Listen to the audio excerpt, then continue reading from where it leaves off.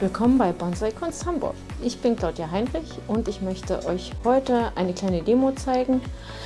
Es geht um diese beiden Sicheltannen und die sollen zusammengepflanzt werden und als Mutter und Kind dann eine neue Komposition bilden. Dafür haben wir dann hier auch noch eine extra Schale, sodass wir die beiden dann auch noch als kleine Landschaft zusammenpflanzen können. Die erste Aufgabe wird dann sein, dass wir erstmal alle toten Bereiche hier einmal entfernen. Dann muss auch noch etwas ausgelichtet werden. Und der nächste Schritt wird dann auch schon sein, die alte Erde zu entfernen. Wenn dann beide Bäume grob zusammengepflanzt worden sind, dann kann man mit der eigentlichen Gestaltung anfangen, da man bei einer Gruppengestaltung immer darauf achten muss, dass beide Bäume so gestaltet werden, damit sie ein Gesamtbild ergeben. Das kann man natürlich erst machen, wenn die Bäume auch zusammenstehen.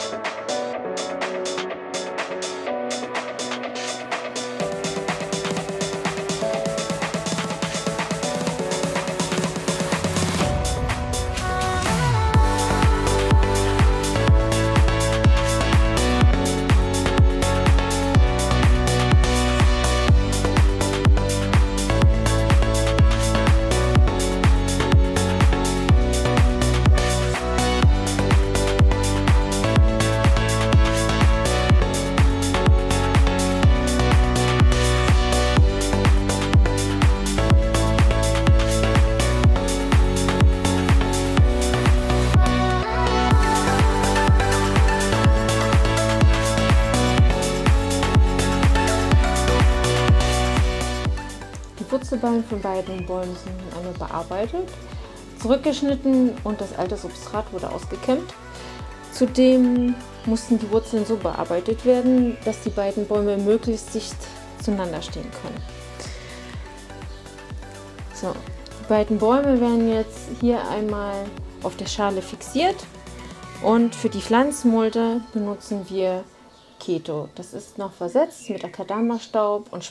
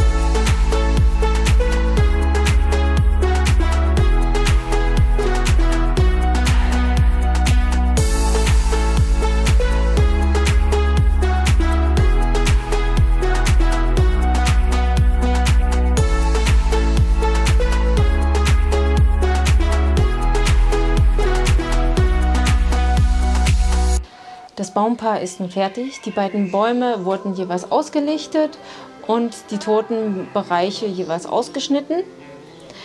Außerdem wurde der kleinere der beiden Bäume etwas schräger gepflanzt, ähm, da der größere Baum der dominantere ist und den kleinen quasi etwas zur Seite verdrängt und in diesen Bereich vom kleinen Baum auch mit hineinwächst.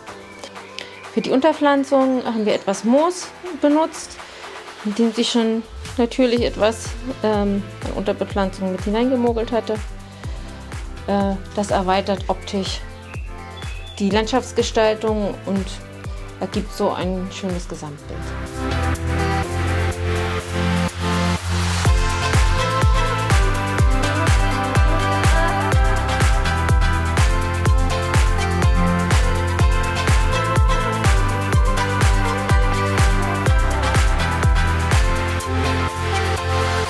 Ich hoffe, ihr hattet Freude an dem Video und dass wir uns bald wiedersehen.